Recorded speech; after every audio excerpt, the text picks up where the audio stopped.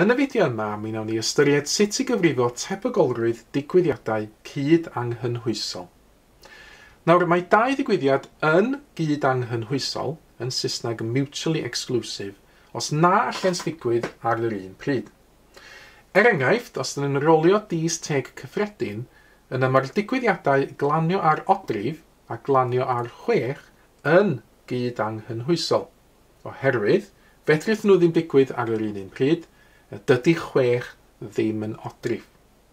Ar y llaw arall, nid yw'r digwyddiadau glanio ar odrif a glanio ar rif cysefin yn gyd anghynhwysol. Nawr, yr odrifa ar ddys yw 1, 3 a 5. Yr rhifau cysefin ar ddys yw 2, 3 a 5. A gan fod y rhifau 3 a 5 yn odrifau ac yn rhifau cysefin, mae'r digwyddiadau glanio ar odrif a glanio ar rif cysefin yn gallu digwydd ar yr un un pryd ac felly nid yw'r digwyddiadau yma yn gyd anghynhwysol. Ond os oes gynnyn ni ddigwyddiadau cyd anghynhwysol, A a B, yna y tebygolrwydd fod A neu B yn digwydd yw swm y tebygolrwydd o A yn digwydd efo'r tebygolrwydd fod B yn digwydd. A hwn yw'r rheol adio ar gyfer digwyddiadau cyd anghynhwysol.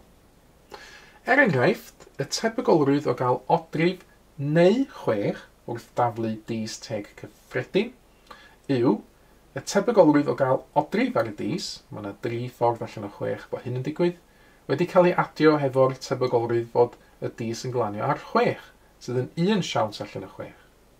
Mae 3 dros 6 adio 1 dros 6 yn 4 dros 6 sydd yn gallu cael ei symleidio i reid 2 dros 3 iddyn ni. Nawr dyma ni ychydig mwy o enghreifftiau. Mae Sophie yn rolio dis teg cyffredin.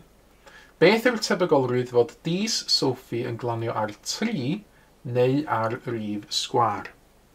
Nawr, i wirio gyntaf o hein yn ddigwyddiadau cyd anghynhwysol, gwiriau dyn nhw ddim yn gallu digwydd ar yr un un pryd, yr rhifa sgwar ar dis ydy un disgwario, sydd yn un, neu dau disgwario sydd yn bedwar. E, Dydy un a phedwar ddim yn hafol i dri, felly mae'r digwyddiadau yma yn gyd angenhwysol fedrith nhw ddim digwydd ar yr un un pryd.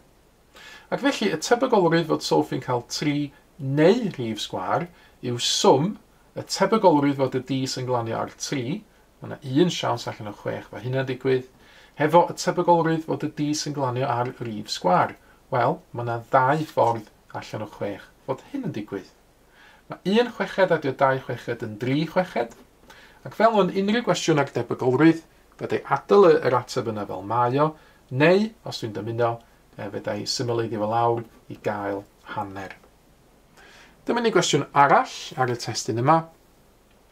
Mae yna fag yn cynnwys 3 counter coch, 5 counter glas, 2 counter piws a 7 o'r ei melyn. Mae un counter yn cael ei ddewis ar hap o'r bag. Beth yw'r tebygolrwydd i fod yn las neu yn biws? Nawr eto, mae'r digwyddiadau yma yn gyd anghynhwysol. Fedra i ddim dewis counter o'r bag sydd yn las ac yn biws. Ac felly, i ateb y cwestiwn yma, fyddai adio y ddau debygolrwydd. Fyddai adio y tebygolrwydd o ddewis yn glas at y tebygolrwydd o ddewis yn piws at ei gilydd. Nawr yn y bag, sawl counter sydd gennym ni gyd. 3, adio 5 yn 8, adio 2 yn 10, adio 7 yn 17. Felly, y tebygolrwydd o ddewis counter glas, mae yna 5 siawns allan o 17 i gyd o ddewis yn glas. Mae adio at hyn yn awr, y tebygolrwydd o ddewis yn piws, wel mae yna 2 siawns allan o 17 o ddewis yn piws. Adio'r rhain at ei gilydd, dyn ni'n mynd i gael 7 allan o 17. A dydy'r ffracsiwn yma ddim yn gallu cael i symleiddio. Cyfle yn nawr iddo chi greu cynnig ar ymarfer. Mae gennych chi fag arall yn hyn, cawnteri coch, melyn, gwyrdd a du sydd yn yr un yma. Ceisiwch ffeindio'r ateb i'r cwestiwn ar debygolrwydd sydd yn cael ei ofyn yn hyn.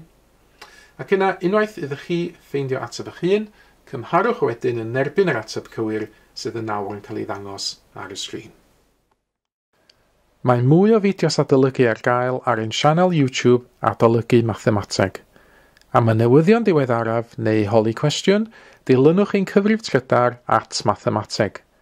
Neu ewch i'n gwefan www.mathemateg.com am fwy o adnoddau adolygu.